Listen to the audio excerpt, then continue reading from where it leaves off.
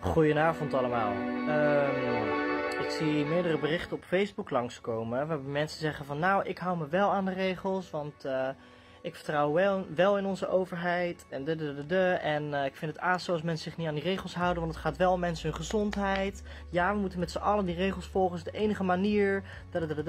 Denk ik, hmm.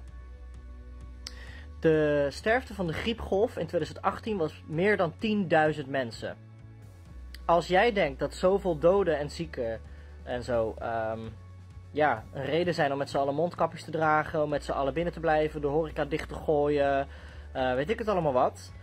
Waarom deed je dat dan niet tijdens de griepgolf in 2019? Hè, een jaar daarna, toen bleek van, oh wauw, het was een 10.000 mensen dood vorig jaar en met de oversterfte, best wel veel. Waarom was je toen niet gaan pleiten al voor mondkapjes, uit jezelf al? Als de overheid en de media en al die organisaties, instituten die er nu zo op hameren en er elke dag mee bezig zijn, als die dat helemaal niet, als jij niks had um, te horen gekregen daarvan de afgelopen maanden, helemaal niks, was je er dan nog mee bezig in je hoofd? Eerlijk. Overvolle IC's, overvolle IC's, ja daarom moeten we die maatregelen. Hallo, in 2016 hadden we ook overvolle IC's. En hadden we ook een vrij ernstige griepgolf met allemaal klachten, heftige longproblemen die we nooit, ja, jarenlang nooit eerder gezien hadden. Er zijn allemaal artikelen van uit 2016. Look it up. Um, waar was, naar aanleiding van de griepgolf 2018, 10.000 mensen plus oversterfte uh, in het opvolgende jaar. Waar waren de politici die pleiten voor mondmaskers in het OV? Waar waren ze dan? Ik heb ze niet gehoord. Er was geen haan die ernaar kraaide. Er is nooit ene haan geweest die kraaide naar mensen die doodgaan tijdens de griepgolf. En nu opeens moeten we elke dag op de voet volgen hoe dit allemaal gaat en hoeveel mensen er dood zijn en we, we, we, we, we. En dan zeggen mensen ja, maar ja, die besmettingen gaan wel heel erg omhoog. Nou en, wetenschappelijk gezien, epidemiologisch gezien, ga je niet kijken in het geval van een infectiegolf hoe infectieus de golf is aan de hand van positieve PCR-testresultaten. Do you even care about science? Of, ga je gewoon mee met een of ander verhaal omdat het mooi klinkt of zo? Wat is nou je criterium?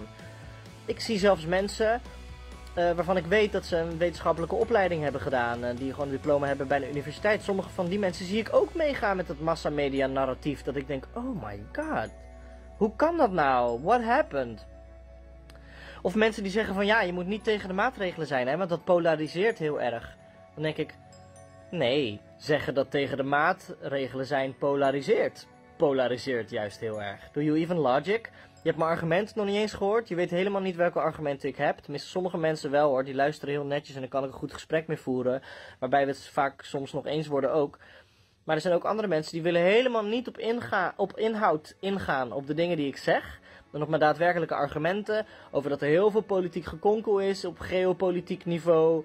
Um, over dat heel veel medisch wetenschappers en rechtsgeleerden massaal aan de bel trekken met brandbrieven en dit en dat en weet ik het wat. En zeggen dit kan niet. En rechtszaken aanspannen tegen overheden. Over hoe, weet je wel, mensenrechten überhaupt hè. De verklaring van de universele rechten van de mens. Die geldt gewoon hoor, tot op heden nog steeds. Ook voor ons, voor mij. En dan kan de overheid wel een of andere spoedwet aannemen, maar ze hebben niet de juiste procedure gevolgd om af te kunnen wijken van de internationale gedragen, verdragen heb ik geen bewijs van gezien, geen enkele aanwijzing voor. Wel gerapportage vanuit de mensen die dat checken. Van nope, de Nederlandse overheid heeft helemaal niet ingediend wat je moet indienen als je van dat soort verdragen wil afwijken. Dus die mensenrechten, de universele verklaring van de rechten van de mens, die staat gewoon. Wat die spoedwet ook gaat opleveren. Does anybody care? Ja, ik wel. Ik vind mensenrechten en wetenschap heel belangrijk. Dus nee, mensen die tegen de spoedwet zijn en uh, mensen eens even aanmoedigen om voor zichzelf na te denken op basis van alle informatie uh, die er is. Zodat jij niet naar die bullshit, die misinformatie uit de mainstream media hoeft te luisteren. Er is nu zoveel informatie, ga eens onderzoek doen. Op mijn Facebook vind je honderdduizend miljoen links als je naar beneden gaat scrollen, gaat kijken wat ik allemaal gedeeld heb. Je hoeft maar mijn omslagfoto aan te klikken en eronder te scrollen en je wordt doorverwezen naar allemaal links die we doorverwezen naar nog meer links. Als je dingen wil onderzoeken heb je genoeg beginpunten. Je hebt geen excuus meer, je hebt internet. Weet je wel, internet is in 1995 zowat ongeveer gedomesticeerd. Dus uh, ja, dat is nu toch al, uh, what the fuck, bijna 25 jaar. Dus uh, doe nou niet alsof je een excuus hebt om deze info niet te bereiken. Oh, nog zoiets. Dat mensen zeggen, ja, heb je zeker op internet gelezen. Hoe anders? De meeste medische publicaties zijn op internet. Of ga ik helemaal naar de universiteitsbibliotheek fietsen om daar... eh, wat, wat, wat bedoel je nou? Omdat het van internet is, kan het niet kloppen? Nog zo'n drogreden. Echt ad hominem. Oh, het is van internet, dus het klopt niet. Dus als ik iets waars op internet zet, wordt het dan onwaar omdat ik het op internet heb gezet? Doe nou even normaal. Heel veel drogredenen, ook bij slimme mensen. Ah, Oké, nou. En wat ik helemaal erg vind, is dat in de massamedia nu mensen die tegen de maatregelen zijn en daar ook tegen willen protesteren, worden geframed als terroristen. Die radicaliseren en extreem gedrag eh, vertonen. En dan zeggen ze er wel bij van, eh, ja, er zijn ook mensen die zijn niet extreem, maar er is een harde kern en die wordt heel extreem. En denk ik, weet je wat extreem is? Al het politiegeweld wat we hebben gezien. Alle leugens in de mainstream media vanuit de politiebonden. Dat, eh, dat geweld tegen politie zou toenemen. En dat de politie ha- harder moet kunnen optreden en meer bescherming nodig heeft. Terwijl de wetenschap eh, zegt van nee, dat klopt helemaal niet. Dat is gewoon niet waar. Dus hè, het is allemaal get smart. Wees niet die schaap, wees die wolf die voor zichzelf kan denken. Ah. Besmettingen meet je niet. Eh, hoe heet het? Patiënten meet je niet. Oh ja, dat was het. Het RIVM noemt nog steeds tot op de dag van vandaag één op één een positieve PCR-test een patiënt.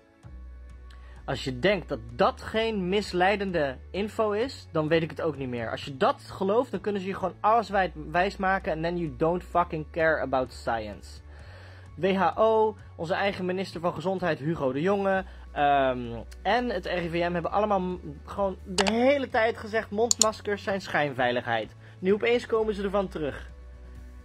Ja, het is allemaal weer. eh, en met welke onderbouwing? Weet je, fact-check iemand dat?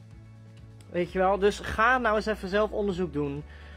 Kom niet met, ja, het is polariserend. Kom ook niet met, oh, ik volg de maatregelen, want dat is de enige manier. Ga niet deugdelijk de held uithangen dat jij wel rekening houdt met die mensen die ziek zijn. Het is verschrikkelijk voor de mensen die COVID-19 hebben die ziek zijn. Maar waar, waar was je de voorgaande jaren tijdens de griepgolf toen er geen haan naar kraaide? En jij ook niet. Geen politici, niemand. Ik heb nooit ene, iemand horen haan kraaien over welke ene mondkap dan ook. En nu opeens is het, moeten we allemaal mondkapjes? Doe nou even normaal. Dat is dus het perspectief van, als je die collectieve amnesia hebt, als je bij de dag leeft, dan denk je dat het gewoon echt zo is. Maar als jij op hebt gelet in de media en je vergelijkt het even met alle griepgolven van de afgelopen 10 jaar, hoe de media toen deed, dan snap je, en je kijkt naar de cijfers, eh, de mortality rate van COVID-19 is maar een paar honderdste percenta- percentage eh, hoger dan dat van griep. En wonder boven wonder, ra ra ra, heeft het WHO nog steeds COVID-19 niet van de A-lijst gehaald naast ebola. Ook grappig dat ze die definitie van pandemie vlak daarvoor hebben gedefinieerd, eh, bijgesteld, zodat ze dit een pandemie konden noemen. Weet je, snap je hoe dit soort spelletjes werken? Het is allemaal één groot spelletje om het te framen. Daarom komen zoveel medisch wetenschappers en eh, rechtsgeleerden trekken aan de bel van dit klopt niet. En daarom is het niet dat ik polariseer omdat ik wel voor mezelf kan denken en dus tegen deze belachelijke, inefficiënte, draconische, eh, irrationele, op irrationele angst gebaseerde maatregelen zijn, waar zelfs politici vrolijk aan meedoen en verkeerd wetenschappelijk taalgebruik, gewoon misinformatie, misleidende bullshit. Ook, ook een leuk eh, nieuwtje. Er is al een medicijn, hydroxychloroquine, kan in 50% van de gevallen gewoon doden voorkomen en eh, opnames voorkomen. Als het in de eerste lijn in combinatie met zink voorgeschreven wordt op dag 1 dat je symptomen beginnen. Huisartsen mochten dit middel al 40 jaar lang gewoon voorschrijven. Kon je gewoon bij de apotheek fixen als je het nodig had. Was een mala- antimalaria medicijn. Hoezo is de bevoegdheid van huisartsen om dit middel te voorschrijven weggenomen? Hoezo? Terwijl het al 40 jaar mocht. En nu opeens zei politici, nee, dat is een kwakzalvermiddel. Al 40 jaar standard practice. Waar heb je het over? En mensen, mensen nemen het nog ook. En mensen hebben ook tegen mij gezegd, ja, ik vind het wel heel erg, eh, het is wel heel erg jouw mening dat hydroxychloroquine werkt. Nee, https slash slash c19study.com. Alle wetenschappelijke onderzoek naar het gebruik van hydroxychloroquine wereldwijd op een rij gezet voor je. Doe je eigen conclusie maar. Verzin het niet. Alle landen die dat middel gebruiken hebben veel lagere mortaliteit dan de landen waarin het nog onderdrukt wordt, zoals Nederland. Waarom wordt het onderdrukt? Stellen mensen hier geen vragen bij? En als in de politiek dan eh, bijvoorbeeld zo'n Haga, ik vind een, een Higa, hoe heet die, eh, van de FVD. Ja, ik vind een engert hoor. En het is een huisjesmelker en die gozer deugen niet, dat weet ik. Maar als hij een kritische, rationele vraag gaat stellen, dat ik denk, eindelijk, hè, hè, wat fijn dat iemand dat vraagt. Dan zegt iemand weer van, ja, maar ja, dat is een huisjesmelker, dus wat weet hij nou? Weer een ad hominem drogreden erbovenop. Hallo, kunnen mensen niet logisch nadenken? Ja, zo komen we nergens natuurlijk. Oké, ik ben tegen geweld, by the way. Maar get the fuck out of here met je domme shit! Oké, die moest even uit. Vrede, liefde, doei allemaal.